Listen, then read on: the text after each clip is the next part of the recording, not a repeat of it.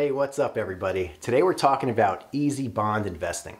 I'm going to teach you what a bond is, plus the easiest and best way to invest in bonds. So let's quickly get through some bond terminology. When you hear bond or fixed income, they mean the same thing. When you hear treasury bonds, think US government bonds. A bond is a type of loan. They mean the same thing. So to understand how bonds work, let's start off with a basic loan example. Boomer the consumer and Lester the investor are here to illustrate.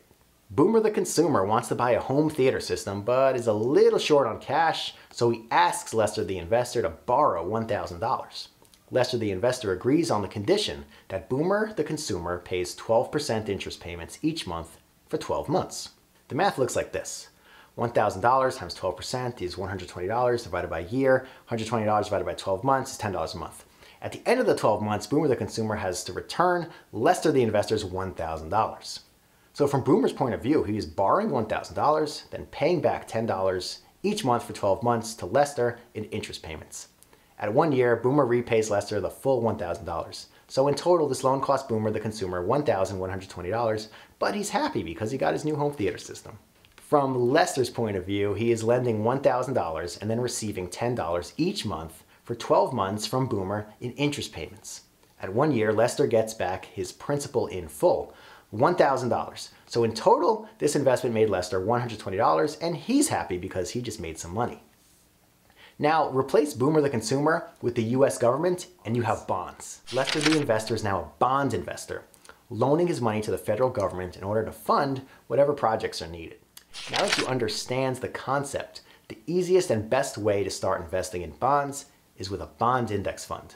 A bond index fund is one easy investment that captures the entire bond market. So rather than buying individual bonds one at a time, you own them all at once. You'll want a US total bond index fund in order to capture the whole US market and be as diversified as possible.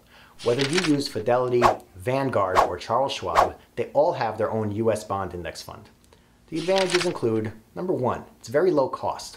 This means more wealth building power over time. Number two, automatic reinvestment.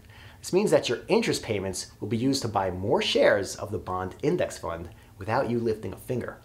This is a powerful feature to build serious wealth. Number three, diversification. This lowers the overall risk by owning the entire bonds market versus one or a few individual bonds. Number four, it's easy and effective. With index funds, you don't need to calculate how many shares you want or deal with order types. Instead, after you just click the buy button and select your account and the dollar amount you wish to invest. Boom, you're done. Number five, no date tracking. Unlike with individual bonds where you'd have to use a calendar to keep track of start and end dates, that's not an issue with the index fund. Since the index fund is the whole market, it runs continuously. In the long run, your investment will grow and make money on autopilot. I recommend you stick with the index fund when it comes to easy bond investing for beginners. Now smash that subscribe button and leave a comment if there's anything you want to know about money, mindset, or investing.